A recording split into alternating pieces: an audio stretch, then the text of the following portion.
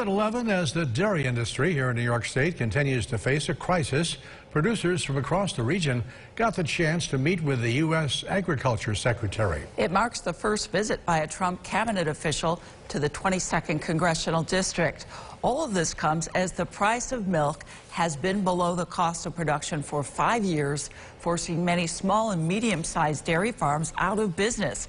Secretary Sonny Perdue addressed concerns of area farmers.